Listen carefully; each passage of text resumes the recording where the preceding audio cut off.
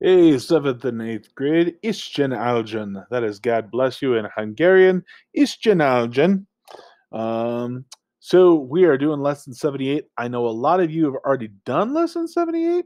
So if you have, you don't have to listen to this video, but you're free to if you want to, and it's your time. Do what you want to do, or just a little refresher through God's word. That's never a bad thing, is it? So today honestly, let's talk about what your attitude is about going to church. Now, I know recently, as we see here on the screen, people are just going to church in their PJs. Goodness gracious. Uh, it's one thing that I know my kids have kind of enjoyed is not having to get up and get dressed. And uh, are we going to lunch afterwards? Do we get breakfast before we go? What are we doing? Um, there's some good things about going to church. Uh, I know I definitely miss seeing the faces of people. I'm I'm a person who likes to shake hands. I'm a person who likes to give hugs. So not being able to do that has been a little bit rough. But I do like uh, getting up like five ten minutes before church, grabbing a bowl of cereal, sitting down in front of a computer, projecting it on the TV, and us all going to church together. If you haven't experienced church uh, online yet, uh, sjdenver.org uh, slash live, or I think it's renewal denver.org slash live. We'll show you all of St. John's church services online and live. Um, but let's let's honestly talk about our attitudes about church. Now, are you a person who specifically when you wake up Sunday morning, lights barely shining outside, feels really warm inside your blanket, you're just kind of sitting there and you hear mom or dad say, "Hey, time to get up, get ready for church, and uh, eye roll time. Uh, do we have to? Is there a later service we can go to? I just want to sleep. What what what's your attitude when it comes to church? Are you somebody who's like, well, hallelujah, can't wait, can't wait, it's gonna be awesome. When you get in church, hands are raised up. Maybe your hands are raised, but you're paying attention. You're like, Oh, wow, that's a really good point. Let me take my sermon notes. Let me think about everything that we're going to be talking about today. Goodness, that's a good point, Pastor. And man, the band sounds really amazing today. The music, oh, I love this hymn. I can't wait to sing this one. And we're just really happy there. We're listening, we're praising, we're happy, we're cheering folks on as they're sharing their faith. We're sharing our faith, we're getting forgiveness, all sorts of different things. Or are you somebody who gets maybe a little distracted in church? Everybody else kind of paying attention. You want to see what your app is saying, or your friend texted you funny, or you're looking at memes, or I don't know. But this thing tends to distract a little bit during church. And sad to say, having church online still doesn't disqualify that.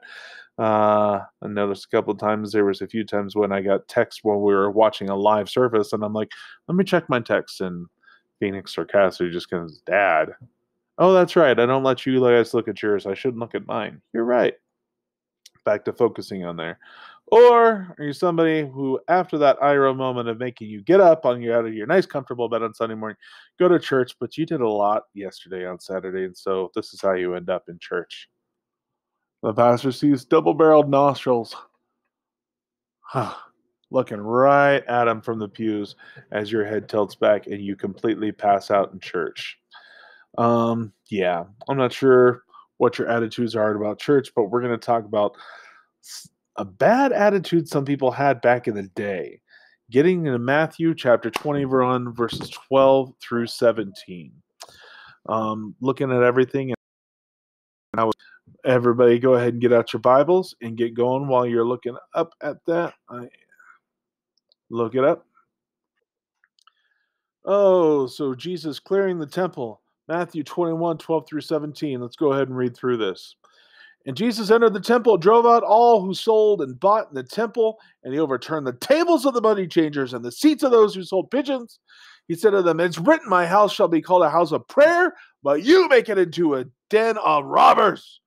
And the blind and the lame came to him in the temple, and he healed them. But when the chief priests and the scribes saw the wonderful things that he did, the children crying out in the temple, Hosanna, the son of David, they were indignant. Mm. The Jesus guy. They said to him, Do you hear what these people are saying? And Jesus said to them, Yes.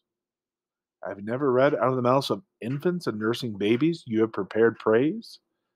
And leaving them, he went out of the city to Bethany and lodged there. not sure if this gives us the quiet the picture that we want.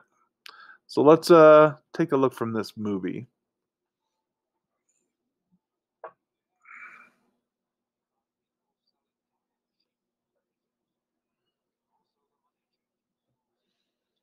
Oh, money changers.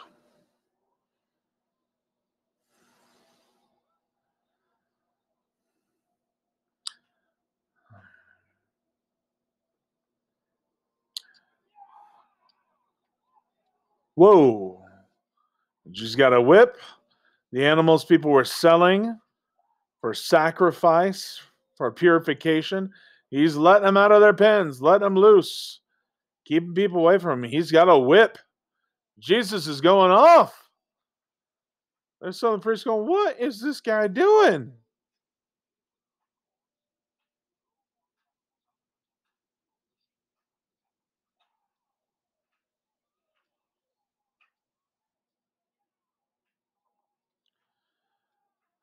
Oh, there goes all the careful money count.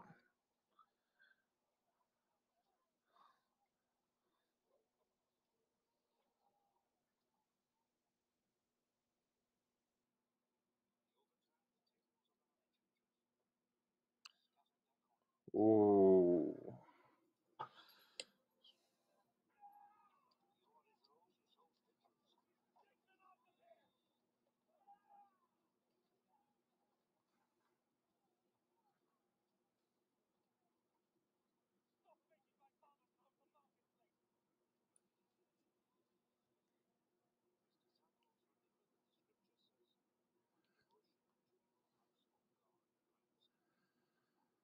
Ugh.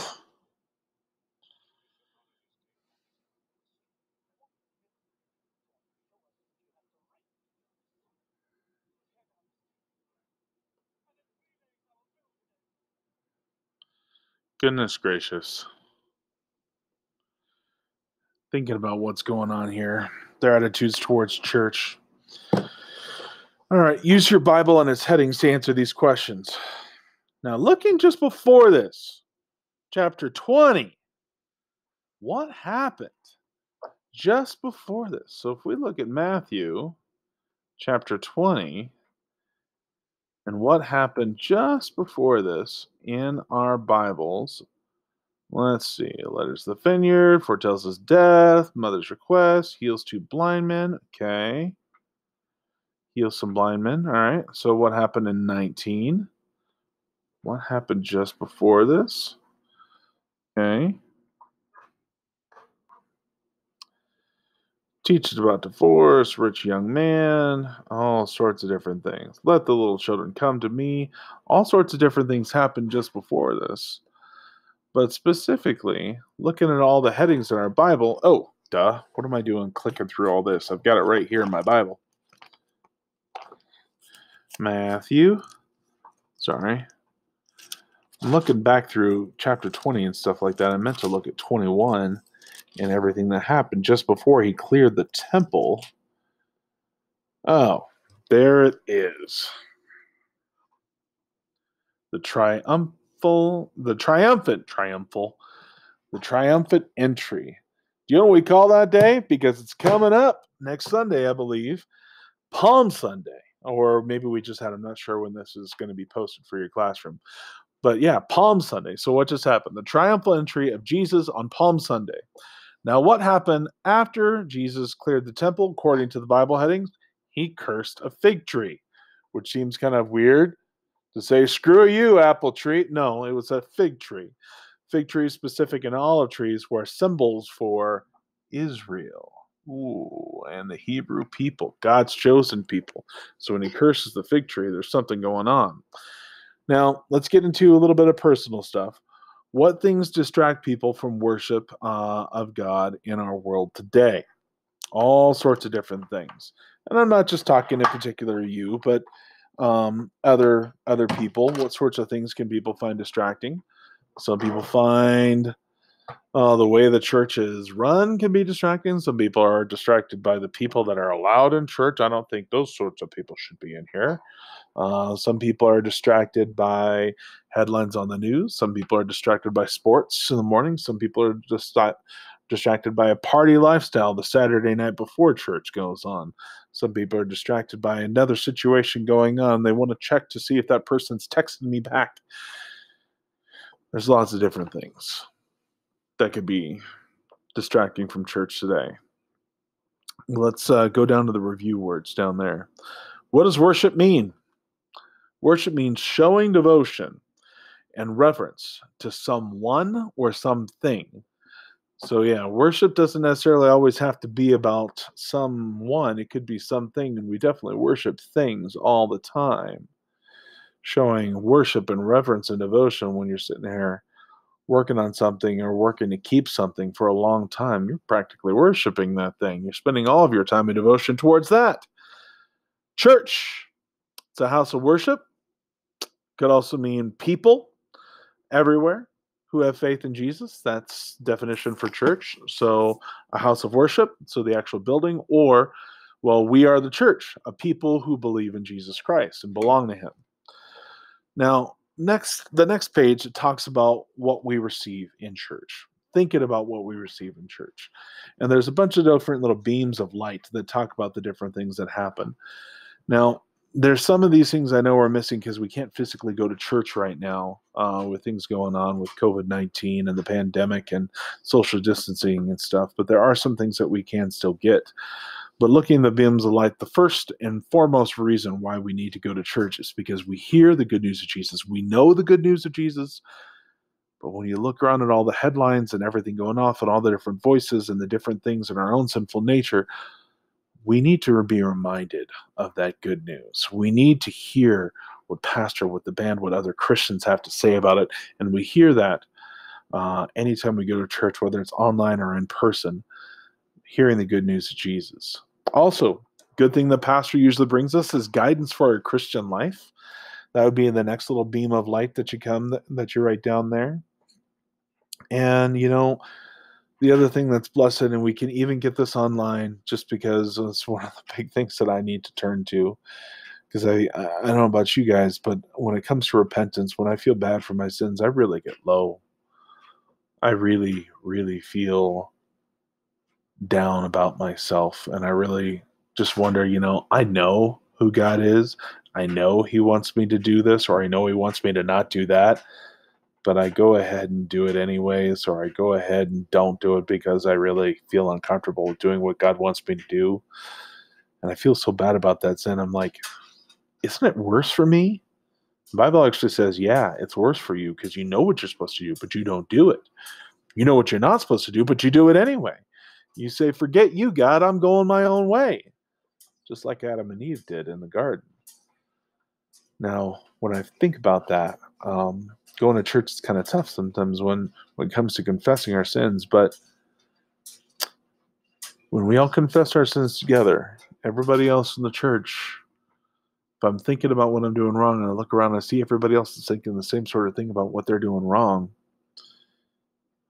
then we then we look up when the pastor holds up his hands and says i as a called and ordained servant of the word do hereby pronounce that jesus forgives your sins in the name of the Father, Son, and the Holy Spirit.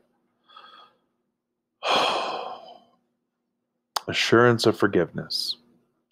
If you want to write in the next thing, you could write assurance of forgiveness, or there's one word that uh, summarizes that, and that's called absolution. Absolution. A B S O L U T I O N. Now, receiving that forgiveness and hearing pastors saying, you know what, you could have said anything you wanted during that sin, the worst sin I could even, even worse than the worst sin I could even possibly imagine. If you did it, thought it, or said it, um, it's still forgiven. Jesus forgives it all. That, the next beam of light, stronger faith. Stronger faith. Now, something that I've definitely been missing about uh, going to church and getting is um, communion that's something we get when we physically go there. I'm looking forward to the day when we can gather again and share the breaking of bread and the sharing of the blood of Christ uh, through the wine, um, through the cup. Also, another thing that I've, that I've definitely been missing. Um, see, I don't. I know some people cry at weddings, so they're like, "Oh, it's such a beautiful moment. They're starting their life together." I tear up at baptisms That's something else. I think the last beam of light we write in baptism. I tear up at baptisms and stuff like that. Let me see if I can find this one meme. Um, let's see if I can find it right now. Oh, my cursor is not moving. No. But it's basically what does baptism look like nowadays in church? Um, oh, here we go. Baptism, COVID. I saw one pastor baptizing a baby from far away with a super soaker. with water gun. Yes, that's how we should be baptizing. This was the meme that I saw. uh, social distancing baptism. That's what it was. Checking out this nice little thing. Baptize your name of the Father and the Son and the Holy Spirit. Mother and father sitting grinning up. I'm sure the baby probably wasn't. But yeah, that's definitely something I miss uh, seeing in church. But baptisms can still happen. There are ways we can do it social distancing that's not going to involve shooting you in the face with a water gun. If it is something that uh, hasn't been done for you or somebody in your family, somebody you care about, and you want to encourage them or you feel encouraged to do so, we can still do that, guys. Baptism can happen all over the time. Um, please give myself, give Pastor a call or an email. We'd love to set something up and talk with you about it. Last part of our Bible uh, lesson for today, where it says, We worship. I want you to write a prayer that would be appropriate to read before worship and help not just you, but other people realize God's blessings and help them be ready to focus on and participate in the service. You know, thinking about are we in church or are we going to be looking at our phone? Are we in church or are we just really tired? Stop and think about the things that we're going to be receiving. Think about the praise that He deserves. Think about all the reasons that we get to, the comfort that we can feel right now when it comes to when it comes to uh, being in church right now. Um, help think about all the different things that can distract us, but think about the goodness that God has for us, the wonderful feelings that are created when we concentrate on work and knowing that we are loved no matter what, we are forgiven no matter what, and we come to Him this day. So what, write that prayer in there, and that'll be the end of it. Hope you guys uh, enjoyed getting through lesson 78 or rerunning yourself through it. Hope you guys all have a great day. Bye con Dios. God bless.